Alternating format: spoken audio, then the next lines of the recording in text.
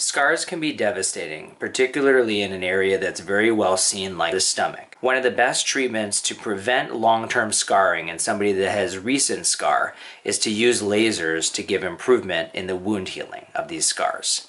Here we're using Fraxel laser, which penetrates the skin very deeply without burning the surface, causing collagen remodeling that causes alteration of the scar, so you get softening and tightening of the scar very quickly after an injury. In these cases, you typically want to treat very early. If you use Fraxel three to six weeks after the injury or after sutures are removed, you can get a best long-term outcome.